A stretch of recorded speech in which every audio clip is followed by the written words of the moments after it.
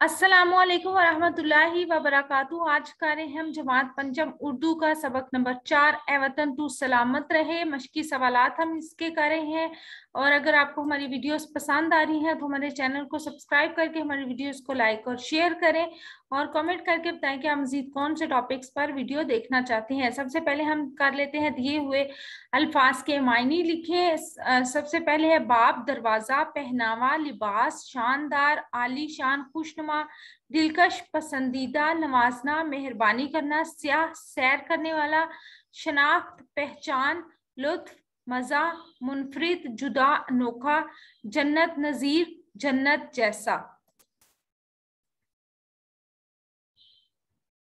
आपने क्या समझा इसमें है कि सबक के मुताबिक दुरुस्त बयान के सामने गुड का और गलत के सामने क्रॉस का निशान लगाए सुबह बलोचिस्तान का सदर मुकाम है कोयटा और सुबह पंजाब का सदर मुकाम है मुल्तान।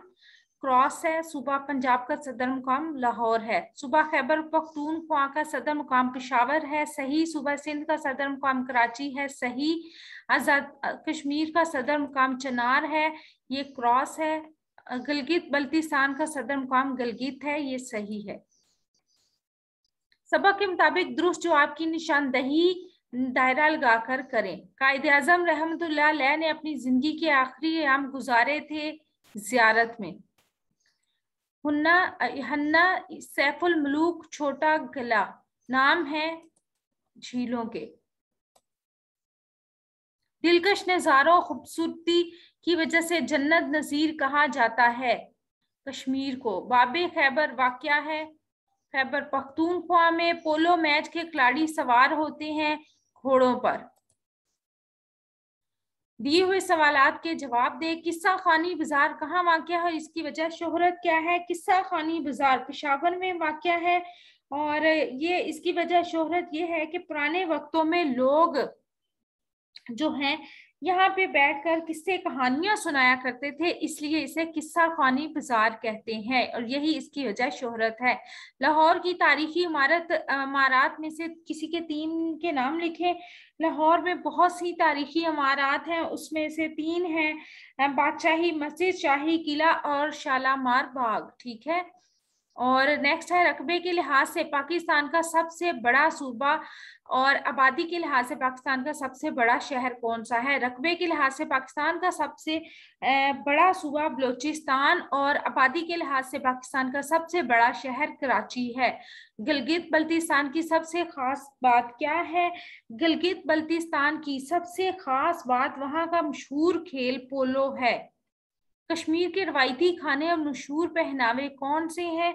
कश्मीर के रवायती खाने ताफ्तान, गुश्ता, गुश्ताबा यहाँ के रवायती खाने हैं। अगर बोलने में कुछ मिस्टेक हो गई हो तो दरगुजर कीजिएगा।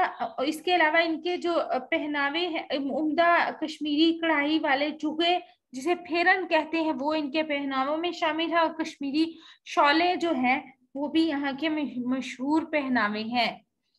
पाकिस्तान में रहने वाले लोगों में कौन सी बातें मुश्तरक है? कोई सी तीन बताएँ? बहुत सी बातें मुश्तरक हैं, जैसे हमारी कौमी जबान सबकी उर्दू है और यहाँ का कौमी लिबास शलवार कमीज है और सब लोग मेहमान नवाज़ हैं और सब एक बहादुर और बहुत दलेर कौम है, ठीक है?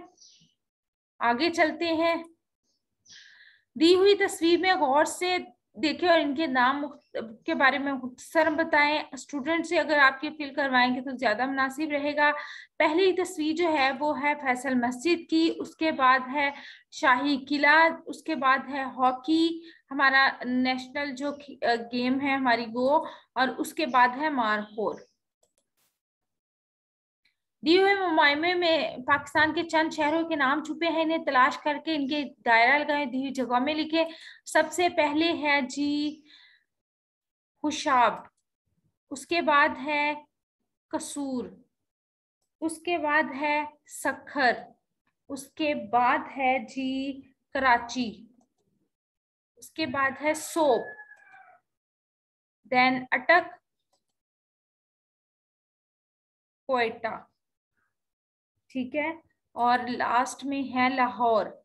अब हम इसको लिख लेते हैं तरतीब से। खुशाब, कसूर, सखर, कराची, सोप, अटक, कोयटा और लाहौर।